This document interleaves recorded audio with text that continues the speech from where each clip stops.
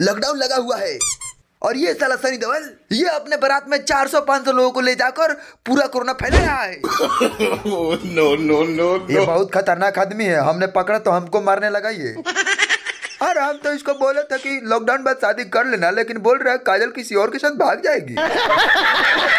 अरे और कोई है तो बोल लो यार जाना है हमको।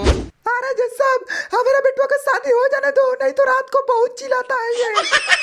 मोदी जी, हमने पूरी तरह से साबित कर दिया है कि ये शादी करने कल को डेट पे 500 लोगों को लेकर गया हुआ था। ये देखिए, इसका शादी का कार्ड है ये। तो मोदी जी, इस लौंडे को ऐसा सजा दीजिए कि जीवन में कभी भूल ना पाए। ये लौंडा लॉकडाउन का पालन नहीं किया है, इसका मतलब कानून तोड़ दिया है। तो इसका शादी चार साल बाद किया जाएगा।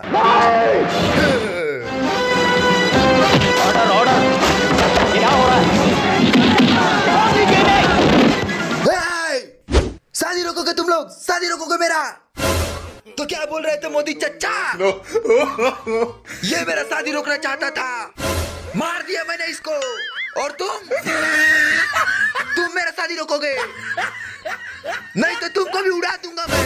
समझ गए मोदी चाचा?